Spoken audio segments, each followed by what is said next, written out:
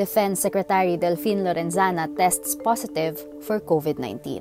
In a statement, Lorenzana says his test results came out Tuesday, April 6, and he will undergo isolation as part of health protocols. Lorenzana was recently involved in a word war with Chinese embassy officials for the lingering presence of Chinese ships in Julian Felipe Reef, which is in the exclusive economic zone of the Philippines. This prompts Foreign Secretary Teddy Boy Locsin Jr. to say the Philippines will lodge diplomatic protests every day as long as China's vessels remain in Philippine waters. China insists the vessels are just there to seek shelter from rough seas, but the Philippine military and Coast Guard say the ships remain despite fair weather.